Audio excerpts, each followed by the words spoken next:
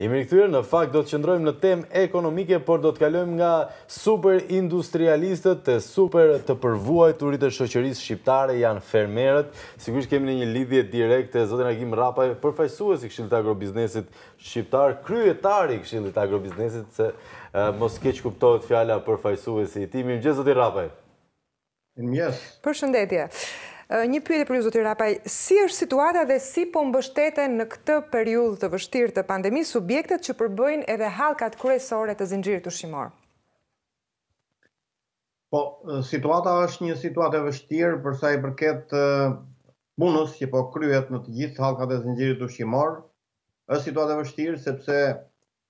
koincidon me fushatën e pranverës, që është një fushatë ku të gjitha subjektet janë në një veprimtari intensive dhe fillojnë që nga subjekti i parë që janë që është bujqësia, që është një nga sektorët bazë të ekonomisë dhe fermerët, të cilët në këtë periudhë janë në një front të vështirë për të përballuar edhe pasojat që lë Covid-i, por edhe për të përballuar vështirësitë që krijon fushata e pranverës.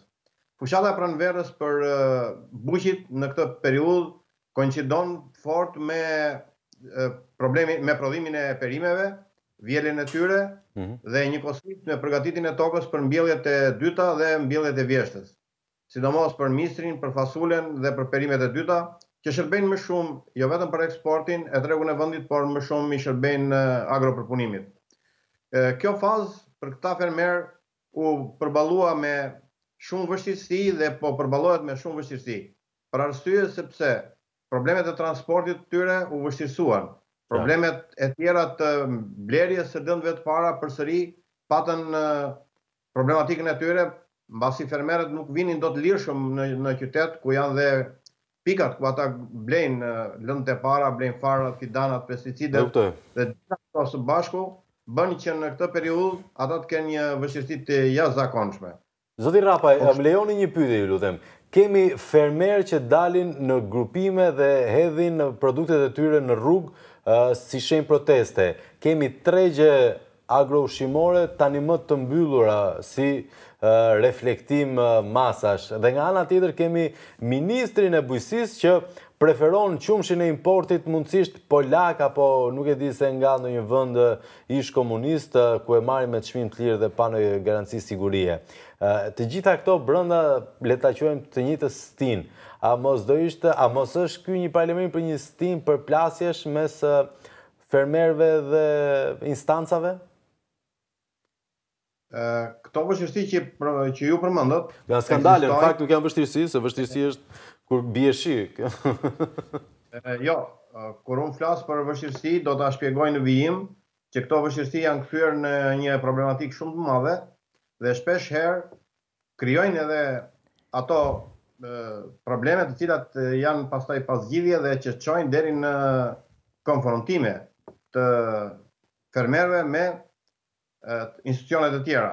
Por unë po përmend këto vështirësi dhe do të vazhdoj t'i përmend për arsye sepse në këtë periudhë në qoftë se njëra nga hallkat e zinxhirit nuk funksionon siç duhet, atëherë ndodhin elemente të tilla që Fermerët nuk kanë ku të shesin produktin e tyre në qoftë se nuk funksionon tregu.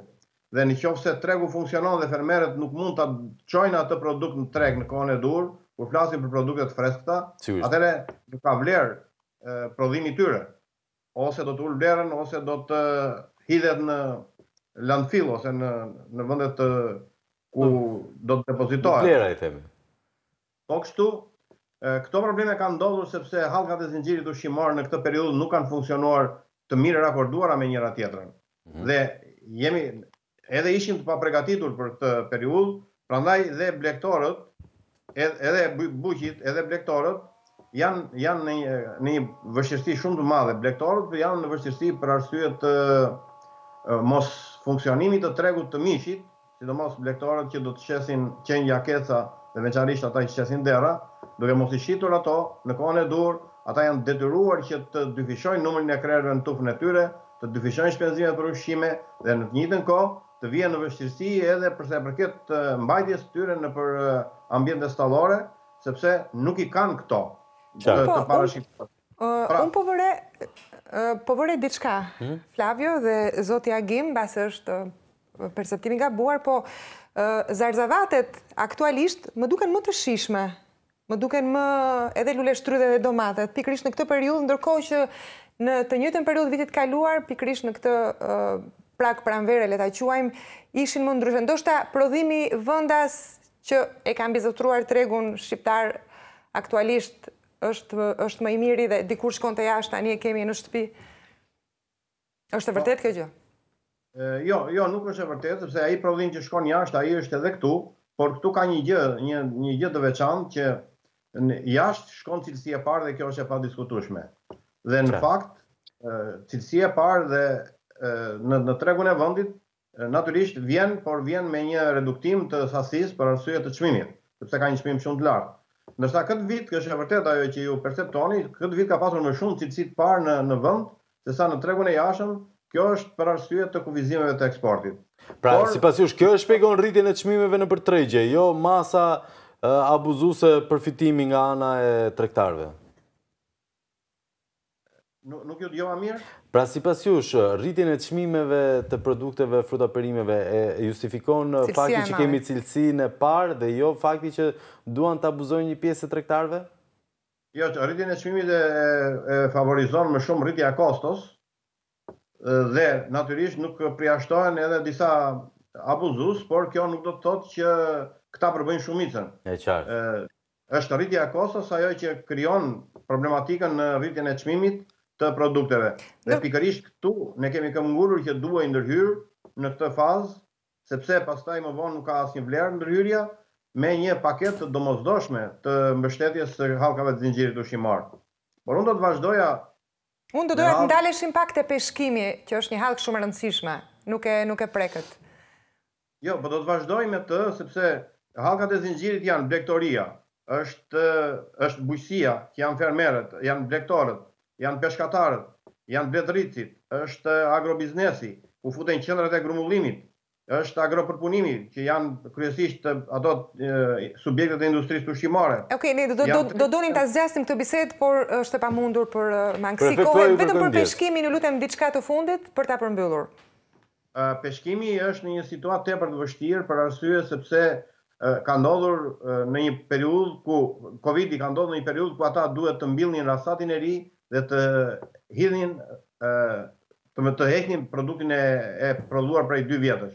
Ata tashmë nuk mund ta heqin produktin e tyre dhe nuk mund ta hedhin rasatin sipas parashikimit për arsye sepse tregu nuk e tërheq produktin e freskët sidomos të peshkut, as eksporti nuk funksionon dhe kështu ata janë në një vështirësi jashtëzakonisht të madhe dhe rrezikojnë që në dy vitet dhe në periudhën në vijim ne të mos kemi më prodhimin që kemi pasur në këto në këtë periudhë tjetër. Pra do të kemi një rënie të ndjeshme të prodhimit të peshkut sidomos për akuakulturën. Zoti Ramaj, faleminderit për kohën dhe informacionet që na përcollët në lidhje direkte, ju urojmë një ditë të mbarë. Faleminderit.